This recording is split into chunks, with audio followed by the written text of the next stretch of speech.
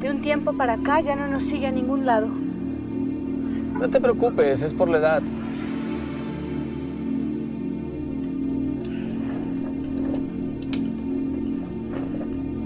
Hola, Santi. Blanca, ¿Cómo estás? mi mamá me dijo que te invitara a cenar y, y para ver si podías venir. Eh, ya conoces a mi mamá. Por cierto, te tengo tu regalito como siempre. Pues me dijo que sola. Te mando un besito, corazón, te quiero mucho.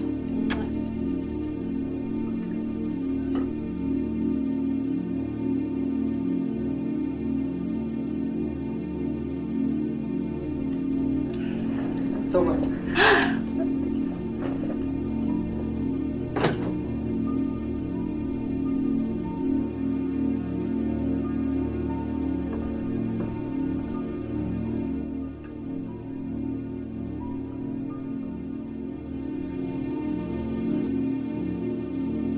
¿Recuerdas cómo comenzó todo? No se iba a quedar callado.